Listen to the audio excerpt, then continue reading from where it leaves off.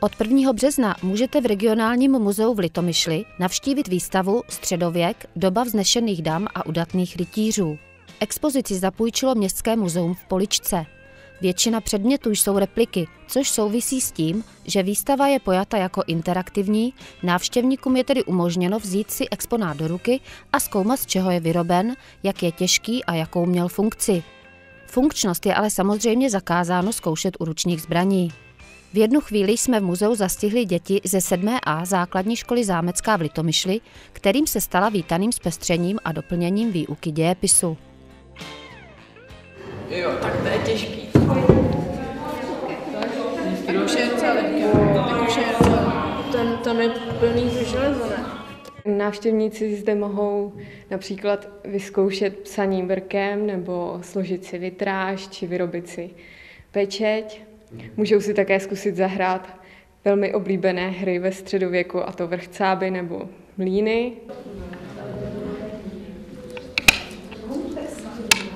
No a tomu zase ne, ne, ne. postavil mlín, takže ti zase může sebrat další kámen. Teď máš ty a ty teď počkej, on ti teď postavil mlín, takže ty mu sebereš kámen. Mohou si zde vyzkoušet řadu oblečení, jsou tady dvoje šaty gotické, dívčí i chlapecké. Jedny z toho jsou vždycky udělané jako honosnější a druhé jsou jako méně honosnější pro chudší lid. do školy.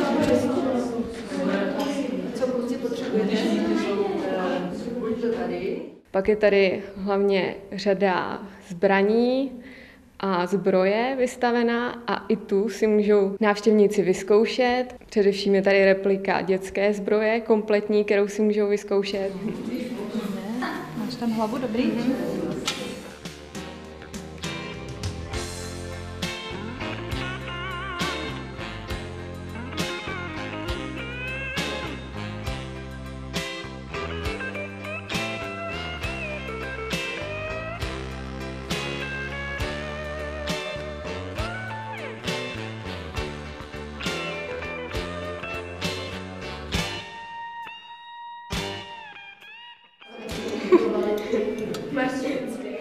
Zbraně tvoří velkou část výstavy, přesto kurátorka doufá, že nikdo z muzea neodejde bez hlavy.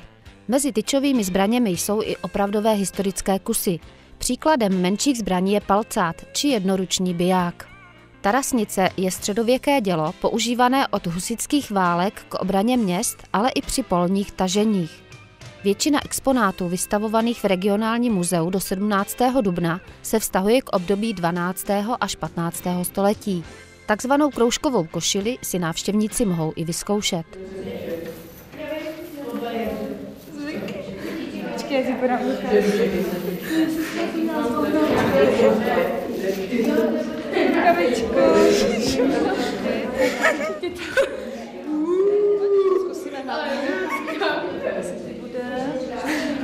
Aby se ještě může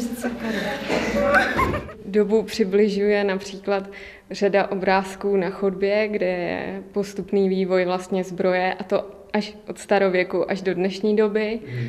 Pak je tam také několik ukázek vlastně dobového oblečení na obrázkách a především ve vlastní výstavě je udělaná časová linka, která vlastně zachycuje dobu středověku jak v českých zemích, tak v Litomyšli, kde vždy tam jsou jakoby modře zdůrazněny věci, které se staly v českých zemích a červeně, které se staly v Litomyšli.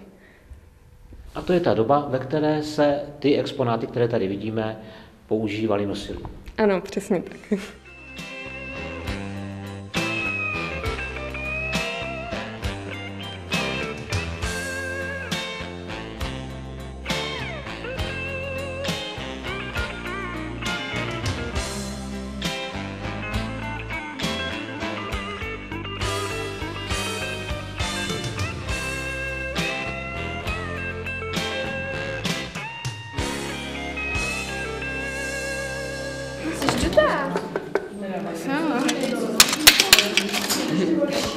Ukáž ty prsty. Počkej, jo. Ty si blbě to, hej, Tak po mě budou vidět. Ježišmarja, to je palcáte. Hrozný. To je příšer. K výstavě jsme vyhotovili i pracovní listy pro děti, které jsou určeny především pro děti druhého stupně základních škol a gymnázií, kde mají řadu úkolů, které mají vyplnit po té, co pořádně si prohlédnou výstavu. Název husických polních vojsk, to není ten vládce. Ne. To není ten vládce, to je to jsou ty pol... To nemá být ten vládce. To je ta zlatá mince. Vedoucí univerzity je biskup, ne? Ne, to není kravina. Hele, a, a to je zlatá mince, to je devár. Co tam máš devár. Devar, počkej, já to nic nemám. Kromě pracovních listů je tady i řada jiných úkolů, které si můžou vyzkoušet různí návštěvníci, jako je například hádání různých řemeslníků, Máme tady například názvy, jako jsou bába pupkořezná, kokotář nebo žertéř, ale co to znamená, to už si musí přijít návštěvníci zjistit sem.